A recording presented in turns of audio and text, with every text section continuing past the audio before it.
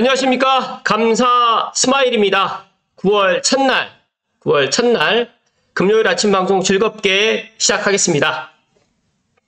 오늘의 한줄 명언은 영속적인 변화를 이루고 싶으면 당신의 문제의 크기에 집중하지 말고 당신의 크기에 집중하라. 하브 에커. 감사 스마일도 계속해서 어, 좀 변화를 하고 싶고 또 새로운 것에 도전하고 싶은데 잘 되지 않습니다. 좀 변화를 갖다가 작게라도 좀 하고 싶고 꼭 어, 도전을 해가지고 음, 뭐 도전을 해서 실패하더라도 이런 도전 속에서 어, 작지만 또 얻는 것들이 있을 것이다 라고 생각을 합니다. 9월 첫날 어, 당신의 문제에 크게 집중하지 마시고 당신의 크기에 집중하시란 말씀 드립니다. 그리고 9월이 오는 소리 올 가을에는 더 많이 웃으시고 더 많이 건강하시고 더 많이 행복하세요.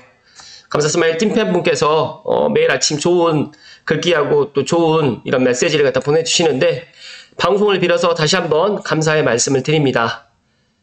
그리고 어제 어, blue moon이 떴습니다. 어제 보니까 어, 7월 16일이었는데 7월 대보름은 아니고 7월 16일이었는데 blue moon이 떠서 간만에 정말 큰 달을 봤습니다. 큰, 큰 달을 봤는데, 어, 제가 오늘 아침에, 어, 이 달 사진을 그래도 한번 보여드리고 싶어서 오늘 아침 이야기 드립니다. 방송 전에, 어, 감사 스마일이, 어, 오늘 오후에 이제 강원도 화천에 갑니다. 그래서 제가 실은 내일, 어, 고객과 미팅이 있었는데 본의 아니게 약속을 갖다 못 지키게 돼서 죄송하다는 말씀을 드렸긴 했지만, 어, 내일 1박 2일 일정으로 해서 강원도 화천 어, 7사단 어, 제 친한 동기생이 여기에서 이제 연대장 지금은 이제 좀 바뀌어가지고 여단장으로 해서 임무 수행을 하고 있는데 어, 일단 안보 견학 및또제 저도 이제 강원도 이 화천 쪽은 참 제가 어, 많은 기억이 또 있지는 않은 곳이지만 어, 그래도 저도 감사 스마일도 이제 저, 전방에서 근무했던 경험이 있다 보니까 어, 또 제 나름대로 시간이 많이 흐르긴 했지만 아직까지 군인의 피가 흐르고 있는 것 같습니다. 그래서 칠성 전망대를 가보지를 않았고 뭐 칠성 전망대 오늘 오후에 이제 강원도 화천에 가서 하룻밤 자고 내일 아마 칠성 전망대를 가게 될 것 같은데 어, 오늘 그러니까 내일 아침 방송을 갖다가 이제 오늘 방송을 하고 또 업로드를 할 계획, 계획입니다. 어찌됐든 간에 어, 감사스마일 1박 2일 강원도 화천 잘 다녀올 수 있도록 하겠습니다. 오늘 방송 드릴 주제는 어, 올댓 고향의 어, 뽀데디님께서 원당역 롯데캐슬 특화 계획 소개를 했는데 관련해서 한번 이야기 드려볼 수 있도록 하겠습니다. 어, 많은 분들께 제가 계속해서 이야기 드리지만 어, 내년에 입주하는 아파트가 제가 알고 있기로 원당역 롯데캐슬하고 그리고 지축의 어, B1 어, 지축의 B1을 갖다가 모르시는 분들을 위해서 다시 한번 말씀드리면 어, 지축역 중흥 S클래스 옆쪽에 보면 어, B1이라는 블럭이 있습니다. 어, 여기가 이제 공공분양을 했는데 여기가 내년 어, 내년 하반기로 제가 알고 있는데 여기 네이버 부동산에는 2024년 4월로 또 예정이 되어 있네요. 어, 이거 조금 이제 다시 확인을 해봐야 되겠는데 아마 그때 공사 중단 된 것 때문에 조금 늦어지는 걸로 지금 변경이 되는지 모르겠지만 어, 지금 보니까 골조는 거의 다 올라갔던데, 어쨌든 이거는 제가 다시 한번 확인을 해보겠습니다. 그래서 내년 입주하는 게 이제 지축 B1하고 원당역 롯데캐슬만 지금 이제 입주를 하는 걸로 알고 있는데, 이 원당역 롯데캐슬에 관련해가지고 이제 감사 스마일이 어, 작년에 또 많은 이야기를 했었으면 했습니다. 그런데 이제 원당역 롯데캐슬 분양 받으신 분들이 또 많이 또 불안해 하셨고, 또 작년 12월부터 올 초반까지 이제 가격이 이제 하락을 하다 보니까 아, 이 원당력 어떻게 해서 괜히 분양받지 않았나. 막 그런 걱정을 갖다 한가득 하셨을 텐데, 분양 받으신 분들께는 다시 한번 축하한다는 말씀을 드리고요. 어찌됐든 간에 원당에서는 원당역 주변으로는 대장이 될 것이다. 그리고 또 덕양구에서도 상당히 어, 인지도가 있는 아파트가 될 것이다. 라는 말씀을 오늘 먼저 드리고 이야기 드릴 수 있도록 하겠습니다. 일단은 뭐 제가 원당교 롯데캐슬에 어 뭐 예를 들어서 뭐 뭐 제가 돈 받은 거 없고요. 제가 그냥 제 나름대로 원당교 롯데캐슬을 긍정적으로 좀 보고 있는 사람이었고 또 분양 당시에 또 제가 이야기를 또 했었고 또 감사스마일 TV 찐팬분이나 또 감사스마일 TV를 애청하신 분들 중에서 원당교 롯데캐슬의 원주민 분들이나 아니면 또 분양을 받으셔가지고 또 입주 예정자이신 분들이 좀 많이 있으신 것 같아서 오늘 한번 이야기 드려볼 수 있도록 하겠습니다. 그리고 혹시라도 원당교 롯데캐슬에 어뭐 예를 들어 가지고 이제 지금이라도 뭐 매수를 갖다 해야 되나 말아야 되나 걱정을 하신다고 하시면 그건 제 방송 보시고 한번 판단을 하셔도 나쁘지 않을 것 같습니다. 일단 뽀데리님께 방송을 빌어서 감사의 말씀을 좀 드리고요. 어, 지난 25일에 원당 4구역 정기총회가 종료되었고 여러 안건들 중에서 시설물 개선과 특화 어, 추가 안건에 대해서 모두 통과되었고 이것을 통해서 분양받은 수분양자분들께 사진과 내용을 공유드립니다 라고 했습니다. 물론 뭐 사진과 내용도 있겠지만 어찌됐든 간에 이 원당률 롯데캐슬의 또 홍보도 있을 수 있다라고 저는 그렇게 생각합니다. 또 총 공사 기간이 41개월로 처음에는 언제쯤 끝이 날까 생각도 했었는데 입주까지 이제 1년도 남지 않았다. 제가 보니까 이제 골조는 어느 정도 다 마무리가 된 것 같고요. 딱 정확하게 말하면 8월 말 입주 예정이라고 한다고 하면 내년 8월 말 입주 예정이라고 한다고 하면 한 1년 정도 남았다는 말씀 드리고요.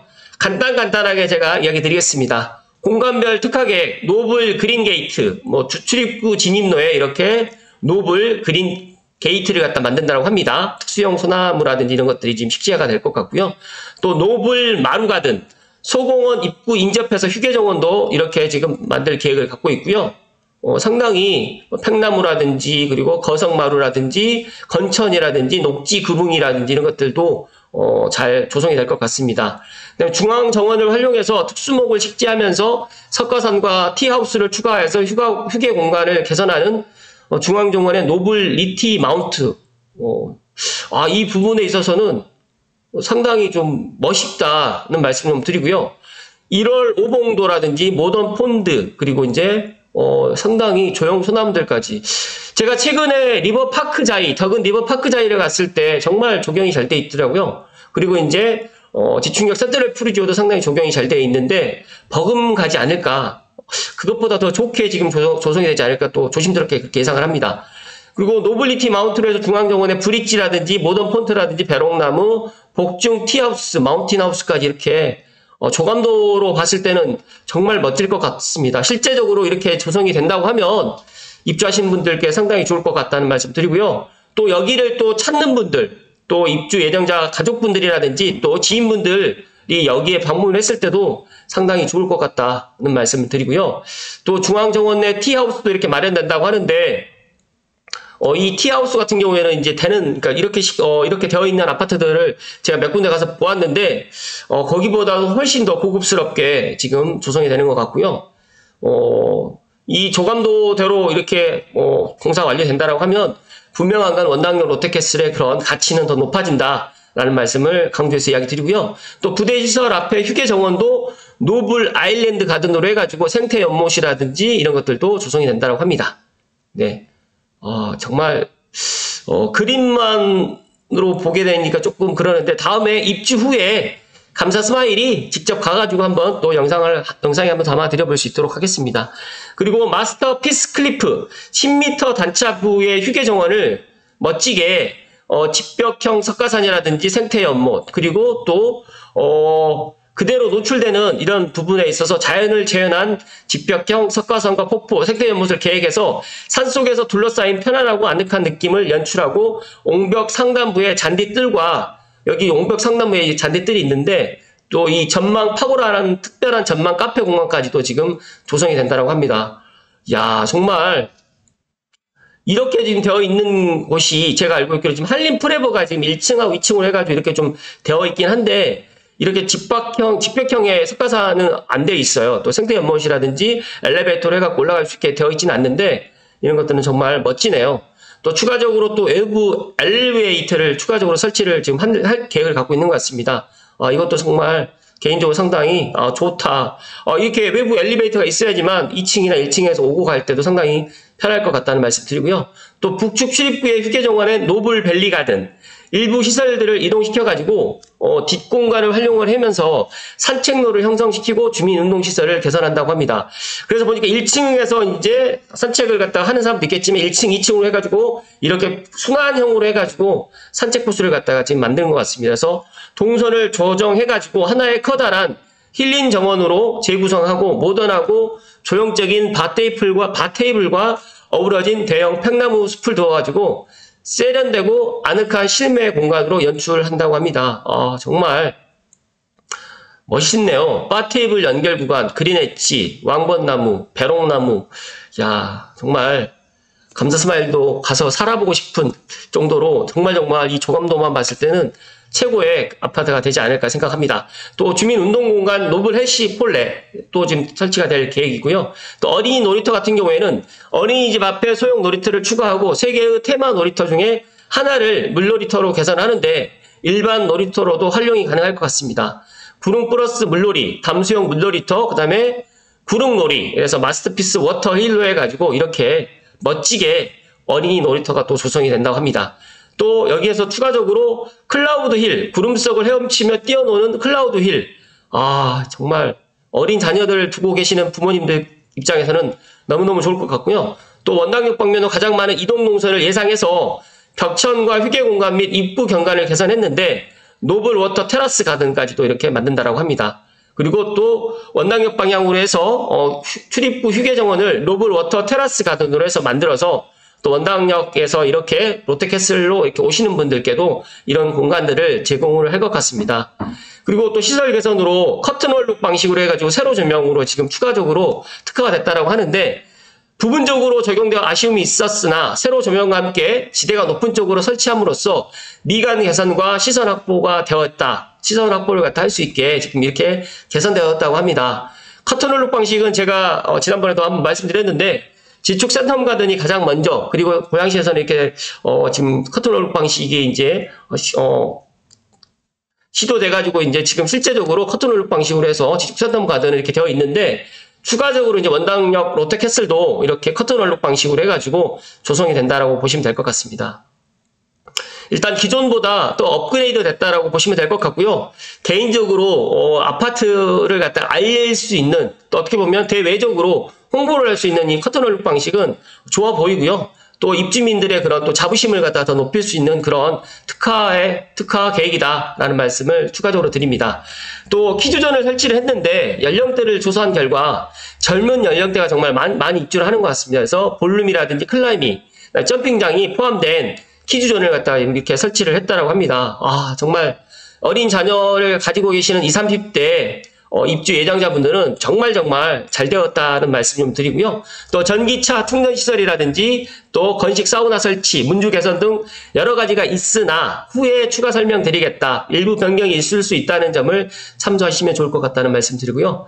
마지막으로 최근 이슈가 되고 있는 아파트 바닥 구조에 대해서 말씀드리면 우선 저희는 기둥보 방식, 기둥보 슬랩으로 해가지고 슬랩의 하중을 받아도 보와 기둥을 통해서 하중을 분산시키는 효과가 있으니 안심하시고 얼마 전 국토교통부와 고양시의 점검을 받아서 받았, 받았는데 양호한 사업장으로 평가되었음을 알려드린다고 합니다.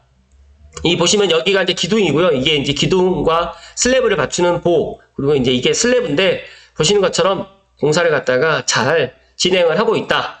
원당 롯데캐슬 조합원 조합원 분들과 입주민 여러분 사전 점검 때 뵙도록 하겠습니다. 라고 지금 이야기하는데 어, 사전 점검이 한 1년 남은 거, 한 1년이 아니라 한 9개월 정도 남아있을 수도 있는데, 제가 최근에 원당역을 갔, 갔을 때 보니까 골조 공사는 거의 다 마무리가 된 것 같고, 이제 어, 1년 동안 내부 이제 마무리 공사만 남아있다라는 말씀을 드립니다. 그리고, 잠시만요.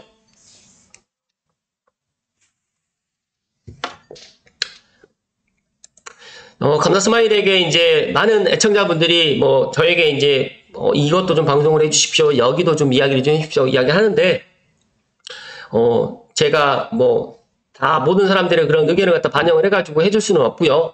제가 판단했을 때 원당군 어떻게 했을 오늘 이야기 드린 거는 이 특화 계획이 어, 어, 제가 생각했을 때 너무너무 멋지게 잘 지금 반영이 되어 있고 어, 지금 같은 이런 시기에 롯데 건설에서 또 원당군 롯데캐슬 조합원 분들께서 뭐 어, 조합원, 조합장님 포함해가지고 모든 입주 예정자 분들께서 힘을 모아가지고 롯데건설에 이런 것들을 요구를 한 것 같습니다.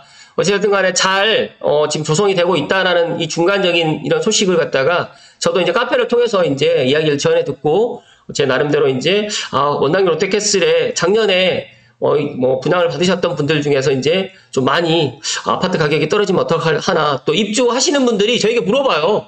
원당이 했을 입주할 때 마이너스가 되면 어떻게 하나요? 근데 제가 작년에도 그랬고 올 초에도 그랬습니다. 그럴 일이 일도 없습니다 라는 이야기를 드렸고요. 고양시도 지금 보니까 아파트 가격이 움직이고 있습니다. 어, 제가 어제 부동산 카페를 통해서 확인했는데 지축력 사드를 프리조가 이제 9.8을 실거래를 찍었습니다.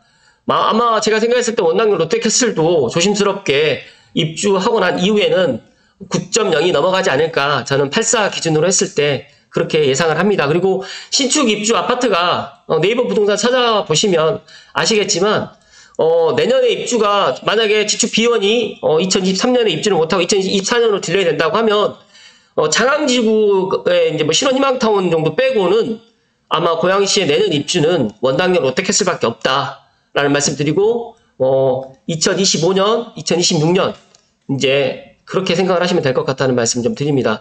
여기 보시면 이제 원당역 롯데캐슬이 2024년 8월 예정이고요. 아, 잠깐만요. 제가 지축 비원이 2024년이었죠? 제가 지금 착각을 한 것 같아요. 잠시만요. 아, 네, 죄송합니다. 제가 2025년을 착각을 했는데, 지축 비원이 2014년 4월인데, 지금 4월은 조금 4월보다 조금 더 delay 될 수 있을 겁니다. 왜냐하면 제가 최근에 갔을 때 그 내부라든 이런 것들이 뭐 골조는 다 올라가 있는데 시간적으로 촉박할 수 있을 것 같아요. 그래서 이거는 제가 다시 한번 확인을 한번 해보겠습니다. 어쨌든 간에 내년에 입주하는 게 원당역 롯데캐슬하고 지축 비원인데 지축 비원이 아마 내년에서 내년 하반기 정도로 되지 않을까 저는 그렇게 생각을 하는데 제가 3년 그린 코아 더 베스트도 원래는 7월 말에 입주를 했는데 제가 보니까 지금 9월 말로 해서 거의 한 3개월 정도가 지금 delay 8, 9, 한 2개월 정도 지금 delay 된 걸로 지금 알고 있거든요. 그래서 원당역 롯데캐슬이 어쨌든 간에 내년에 어, 내년 8월에 입주하고 지축 비원이 또 내년에 입주를 하게 되면 고양시의 뭐 장항지구 뭐 신혼 희망타운을 제외하고는 고양시 입주 물량이 정말 전무하다. 그래서 아마 제가 판단했을 때는 적양구의 전세 가격이 상승하는 거라든지 또 전세 가격이 상승하게 되면 어, 매매 가격도 따라서 또 올라갈 수밖에 없다는 말씀을 조심스럽게 이야기 드리고요. 원당형 롯데캐슬 스카이엘 아파트 입주하신 분들 걱정하지 마시고 편안한 마음으로 내년 입주 때까지 기다리시란 말씀 마지막으로 강조해서 이야기 드리고요. 어쨌든 간에 또 원당역 롯데캐슬 뿐만 아니라 지축 비원이라든지 또 고양시에 또 좋은 아파트 분양 소식이라든지 어찌됐든 간에 또 어, 입주해가지고 이렇게 또 진행되는 상황들이 있으면 감사 스마일이 이야기 드릴 수 있도록 하겠습니다. 아무튼 오늘도 9월 어, 첫날인데 9월 어, 첫날 행복 가득하시고 좋은 일만 가득하십시오. 고맙습니다.